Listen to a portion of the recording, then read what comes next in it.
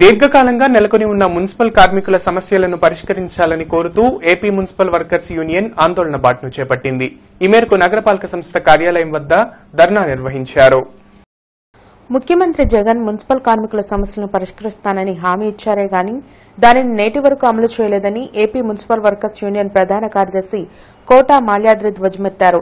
దీర్ఘకాలంగా నెలకొని ఉన్న మున్సిపల్ కార్మికుల సమస్యలను పరిష్కరించాలని కోరుతూ నగరపాలక సంస్థ కార్యాలయం వద్ద ధర్నాను నిర్వహించారు. అవుట్సోర్సింగ్ ఉద్యోగులను తక్షణమే పర్మనెంట్ చేయాలని కోరారు. పీఎఫ్ ఈఎస్ఐ నగదును కార్మికుల ఖాతాలో జమ చేయాలని డిమాండ్ చేశారు. కార్యక్రమంలో మున్సిపల్ నాయకులు రవి తదితరులు పాల్గొన్నారు. అధికారంలోకి వచ్చినటువంటి తమిళనాడులో స్టాలిన్ గారు ఇవాళ వాళ్ళందరూ కూడా సిపిఎస్ని రద్దు చేసి మరి ఆ పాత విధానాన్ని కొనసాగిస్తామని చెప్పారు.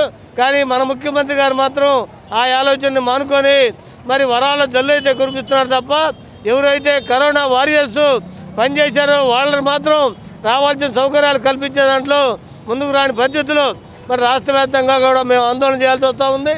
అట్లాగే పర్మనెంట్ కార్మికులకు సంబంధించి చప్పులు చెప్పులు కుట్టుకులి చిన్న చిన్నవి కూడా ఆపి మరి వాళ్ళకి రావాల్సిన సౌకర్యాల మీద చిన్నచూపు చూస్తూ ఉన్నారు. అందుకని ఆందోళన చేస్తూ ఉన్నాం.